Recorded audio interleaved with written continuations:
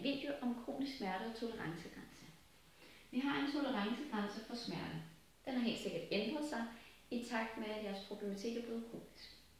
På en god dag forsøger man oftest at nå det hele, gøre en masse og gør oftest mere, end hvad man kan.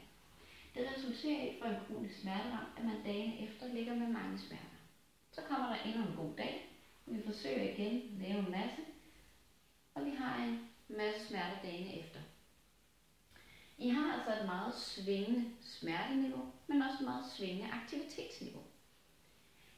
Det resulterer i, at jeres tolerancegrænse stille og roligt falder. Kroppen altså accepterer mindre og mindre, før den udløser smerte.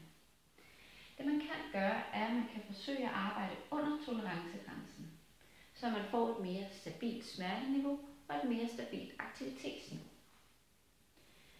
Det her er selvfølgelig rigtig, rigtig svært og ændre. Det er rigtig svært at arbejde med, for man skal til at gøre op med, hvad skal der foregå på de gode dage, hvad skal der foregå på de dårlige dage. Skal jeg måske til at retænke nogle af de måder, jeg udfører ting på? Skal jeg måske gå på kompromis med nogle ting? Og det er ikke særlig nemt. En af de redskaber, man kan bruge, er, at man kan finde en vase frem. Det kan være i min vase, der er plads til 30 bolde. Og så skal jeg til at sætte værdi de aktiviteter, jeg laver. Jeg skal simpelthen til at fordele mine ressourcer ud over hele dagen. Det kan være, at min morgenrutine den koster 5 bolde. På en dårlig dag koster det måske 7 bolde. Nu skal jeg så forsøge at tilpasse min antal bolde til dagen, så jeg ikke får brugt alle boldene om formiddagen.